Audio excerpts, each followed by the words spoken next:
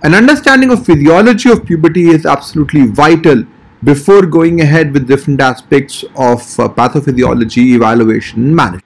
The key organs regulating the pubertal onset and progression are the hypothalamus, pituitary, and gonads, ovaries, and testes.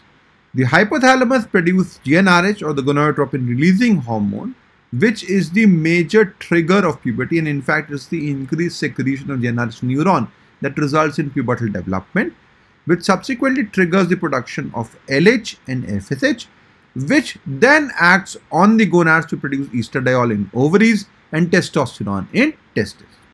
The hypothalamic pituitary gonadal axis has different levels of activity across childhood. So it is quite active in the fetal period and that is responsible for the fetal growth particularly the development of the male internal and external genitalia. It is also active immediately after birth from around 1 month of life to 3 months of life when the levels really go up in what is known as mini puberty and subsequently the HPG axis is largely quiescent and the hormone levels are usually in the undetectable range. So any detectable hormone levels be it LH, FSH, estradiol or testosterone during this phase should be considered significant and a marker of impending or already present puberty. The first chain which starts with puberty is the nocturnal pulses of GnRH which starts triggering and this activity is followed by daytime surges and these pulses really start activating the whole hypothalamic pituitary gonadal axis. Therefore, in the initial phase since there are nocturnal pulses of GnRH and LH, the testosterone production is the maximum in the early morning phase. So therefore testosterone levels should be measured first thing in the morning and, they, and high levels may be the first marker of early development of puberty. The GnRH neurons along with the olfactory neurons are placed in the olfactory placode in the fetus and from there they migrate, the migration occurs from GnRH happening to the hypothalamus and from the olfactory placode to the olfactory bulb under the influence of KAL1 and FGFR1 genes. And if there is any defect in terms of this process there may be abnormality of absent GnRH secreting neurons in the hypothalamus resulting in permanent hypogonadotropic hypogonadism and this condition is often associated with a defective migration to the olfactory placode as well. The condition also results in anosmia which may be a direct pointer to the cause of hypogonadotropic hypogonadism in the form of KAL1 and FGFR1 mutations. The regulation of GnRH neurons is largely under the inhibitory control during childhood of GABA and MKRN3. And what is it important to understand that in most situations puberty is actively suppressed and removal of this inhibition is responsible for development of precocious puberty. While the stimulatory process comes largely from glutamate and kisspeptin which acts on the KISS1 receptor, kisspeptin provides a linkage between the nutritional signals and puberty wherein the adipocytes secrete leptin which act on the leptin receptor to stimulate kisspeptin to produce and conduct signals that the body has enough store of adipocytes so as to continue with puberty. Administration of leptin during appropriate ages is associated with development of puberty. Similarly, absence of leptin results in stalled puberty and delayed puberty in most situations. However, administration of leptin in individuals who do not have the appropriate timing for puberty, like a young child, does not trigger puberty. So what it means is that leptin is more of a regulator or a gatekeeper in terms of puberty and allows only those individuals who are otherwise fine for puberty to enter puberty if they have enough nutrition because along with growth puberty and reproduction are the most energy requiring processes in the body and therefore need enough store to be there to begin with. Neurokinin B also plays an important role in terms of stimulation of the GnRH neuron. Most situations of precocious puberty are caused by lack of inhibition and this can happen in a number of processes, even milder processes in the form of some infection, irradiation, hydrocephalus infection can really cause uh, abnormality or a sort of a short circuit in the whole wiring and that's why precocious puberty is much more common. So precocious puberty in more situations than not is actually an act of omission in which the active inhibition is just removed while problems in stimulatory pathway result in delayed puberty and this requires a active process. So while precocious puberty can be considered as an act of omission, Delayed puberty is in fact an act of commission in which something has to be grossly wrong in any of these signals may be a large tumor which is interfering with it or some functional defect which will cause these problems. Leptin is gatekeeper of puberty which decides which individuals after having the lack of inhibitors of puberty are fit enough to enter puberty and have enough nutrition. So it provides the physiological basis of linkage of energy stores and one of the more energy intense processes of entering puberty. So the GnRH which is produced by the hypothalamus then acts on the GnRH receptor to activate the gonadotrophins LH and FSH and this LH and FSH are also under regulation of testosterone and estradiol which mainly act on the LH using a feedback inhibition mechanism while FSH is inhibited by inhibin and is activated by activin. The LH and FSH are the two vital gonadotrophins which basically provide diagnostic information about two entirely different things. So while LH is the best marker regarding pubertal onset, FSH is a much better marker with regards to gonadal reserve. Prolactin also plays an important role in inhibiting the secretion of LH and FSH. So therefore, hyperprolactinemia is associated with hypogonadotropic hypogonadism. An interesting aspect which often asked is that when we have a single GnRH hormone which acts on both LH and FSH. Why do we have different levels of LH and FSH as highlighted by the fact that FSH rises very early in puberty while LH slowly increases. The reason for that is that there is different half-life for different gonadotrophins and there is also differential sensitivities of specific LH and FSH secreting neurons with regards to the action of GnRH a very important uh, pharmacological role of the GnRH receptor is the use of GnRH agonists, which are compounds which stimulate the GnRH receptor. Initial stimulation is associated with increased production of LH and FSH, which will cause a flare in the gonadotropin pathway. But continuous exposure causes desensitization of the puberty resulting in subsequent inhibition of LH and FSH. So this is a mechanism by which pulsatile GnRH secretion causes a increase in LH-FSH level and continuous stimulation causes suppression of LH-FSH level and this is used a lot in the treatment of central precocious puberty with the use of GnRH analogs. What is important to emphasize out here is that if there is gap between the action of GnRH analogs, so if the dose is not given in the right time, there would be a recovery of the GnRH uh, from the effect in causing a production of LH-FSH and therefore every time if there is a gap there would be a potential flare effect of GnRH analogs and therefore it is absolutely important to give the medicine at the exact time when it is recommended. The gonadotrophins uh, in boys, the LH and FSH act on the testis, the LH acting on the LHCG receptor in the Leydig cell causes production of testosterone, while FSH acts on the FSH receptor in the Sertoli cells to produce AMH and inhibin B.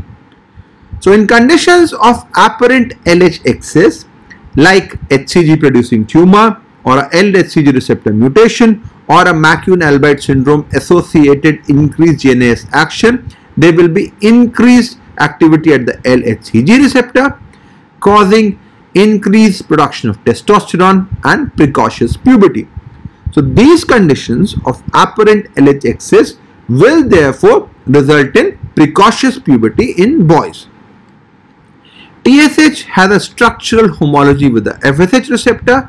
So TSH can bind with FSH receptor when the levels are very very high in the setting of untreated primary hypothyroidism causing increase in testicular size but since it is acting mainly on the Sertoli cells there is no increase as far as the testosterone production so there will be no pubic hair growth or no other features of uh, pubertal development but there would be macroorchidism so hypothyroidism should be suspected in every child who presents with macroorchidism without evidence of puberty. The similar effects happen in girls where the LH acts on the LH receptor in the theca cells to produce androstenedione while FSH acts on the FSH receptor in the granulosa cells to activate the aromatase enzyme to produce estradiol. TSH as discussed earlier can bind to the FSH receptor and since in girls binding to the FSH receptor will result in formation of large ovarian cyst, there can be estradiol production causing precocious puberty. This form of precocious puberty is characterized by delayed bone age and growth failure. So every girl who has precocious puberty should be tall and should have an advanced bone age. If a girl with precocious puberty is short and has a delayed bone age, hypothyroidism should be suspected. In apparent LH excess states like HCG producing tumor, the HCG will go to the LH receptor, it will work there, but because the aromatase action and estradiol production requires the action of FSH as well, it will not cause precocious puberty in girls. So while hypothyroidism causes precocious puberty in girls and macroorchidism but no precocious puberty in boys, similarly while apparent LH excess states like HCG secreting tumor cause precocious puberty in boys but not in girls. A word about the gonadal development because that is the third major part of the hypothalamic pituitary gonadal axis. The development of gonads happens through the urogenital ridge at around 4 to 6 weeks of uh, gestation and there are three organs which are formed the adrenal, which is formed by the NR5A1, kidney formed under effect of WT1 and finally gonads again which WT1 and NR5A1 play an important role. NR5A1 is in particular involved in not only the development of adrenal gland, the bipotential gonad, but also in testicular development and even steroidogenesis and therefore it's an extremely important gene which is expressed in different parts of the entire process of sexual development. The major determinant of male gender is the SRY gene which results along with NR5A1 in the development of testis and the third major gene that comes out here is SOX9 which further causes production of anti-Mullerian hormone causing regression of Mullerian ducts. There are other ovarian genes like FOXL2 and DAX1 which result in development of ovary and there is an ongoing struggle between the anti ovary gene SOX9 and the anti-testis gene FOXL2 which decides the fate of the bipotential gonad. The process of testicular development happens under the influence of these three genes the NR5A1, SRY and SOX9 and therefore the testis develops into the Sertoli cell under the effect of SOX9 and then it produces AMH and inhibin B the levels of which remain high even in the prepubertal period. So AMH and inhibin B are reliable marker of functional testicular tissue and this may really help in identification of testicular tissue in a situation like anorchia or where there may be either a regression of testis or intra-abdominal testis. So in that situation, if the AMH level is detectable, one needs to be very cautious in terms of exploration to look for abdominal testis. Leydig cells are largely influenced by the NR5A1 And while Leydig cells do not represent a huge volume of the testis, they do result in production of testosterone, which causes virilization. So, in conditions in which there is isolated uh, LH excess in the form of HCG producing tumor, LHCG receptor activating mutation or McCune-Albright syndrome, you the situation which typically presents is in the form of precocious puberty with only Leydig cell enlargement and since Leydig cells form only around 15 to 20 percent of the whole testis, the testicular volume is not increased commensurate to the level of pubertal development. The other important uh, substance secreted by the Leydig cell is the insulin-like factor 3 which causes testicular descent. The third part of the germ cell also occupies a large volume. So in situations of central precocious puberty where both Leydig cells and Sertoli cells are stimulated, the testicular volume is appropriately increased. Ovarian development happened under the effect of WNT4, FOXL2 and DAX1 resulting in development of theca cells which produces androstenedione and granulosa cell which produces estrogen along with oocyte and there is a local production of antimullerian hormone in the ovaries which has a role in different aspects of folliculogenesis. Steroidogenesis is particularly important in the setting of delayed puberty. So, as has been discussed in detail in the section of congenital adrenal hyperplasia, the cholesterol is converted into progesterone under the influence of side chain cleavage. Star and 3 beta HSD enzymes which play a very important role in the whole pathway. This is then converted in the adrenals into cortisol and aldosterone under the 21 and 11 hydroxylase which are further converted into DHEAS and testosterone which can also be produced in the testes by 17 beta hydroxysteroid dehydrogenase further converted into estradiol under the influence of aromatase in the ovaries. So there are defects which will have combined effect on the adrenal gland as well as testis synthesis presenting with XYDSD or even delayed puberty and these include problems in the side chain cleavage, star or 3 beta HSD along with problems in the 11 hydroxylase which are associated with increased androgen production along with high mineralocorticoid action. 21 hydroxylase which are associated with decreased mineralocorticoid action and increased androgens. And 17 hydroxylase which are associated with decreased androgen production and increased mineralocorticoid and this is important in different aspects of presentation which will be discussed later on. Once the androgens are formed, the testosterone is converted as discussed earlier via the 5-alpha reductase 2 to dihydrotestosterone which then acts on the androgen receptor.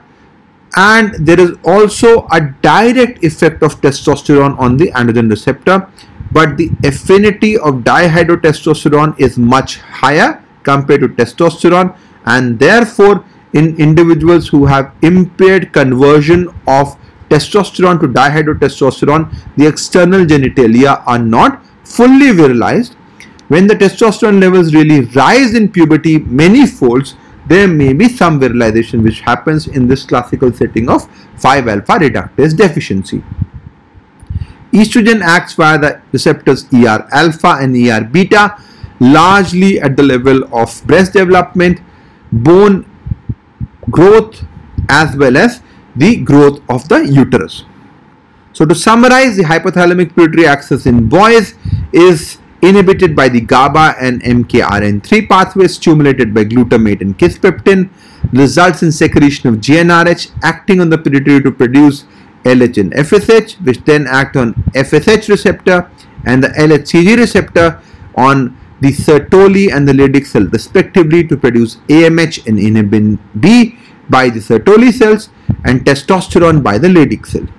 Testosterone then acts on the 5-alpha reductase 2 to produce dihydrotestosterone which acts on the androgen receptor. Testosterone can also be aromatized into estrogen so as to act on the estrogen receptor which is responsible for the epiphyseal fusion. Simultaneously, adrenal also produces a good amount of androgen and conditions associated with increased adrenal action like 21 and 11 hydroxylase deficiency and adrenal carcinoma can present with virilization and these conditions typically are associated with small testes because androgens are being produced outside and testicular volume remains prepubertal.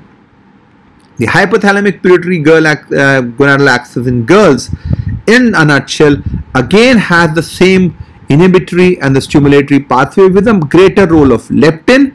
The GnRH then acts on the LH which acts on the LH receptor in theca cells to produce androstenedione. FSH acts on the FSH receptor in the granulosa cell to produce aromatase and estradiol. So both LH and FSH are required for the the production of the female hormone estradiol while in boys LH alone is good enough. Estradiol acts on the estrogen receptor to cause breast development, epiphyseal maturation and uterine development. The adrenals can also be the source of uh, androgens and they are the major source of androgens in girls and this is associated with development of pubarche.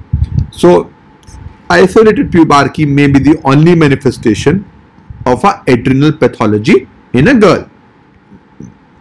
TSH as discussed can act on the FSH receptor and prolactin can be acting at the LH FSH production level causing hypogonadotropic hypogonadism.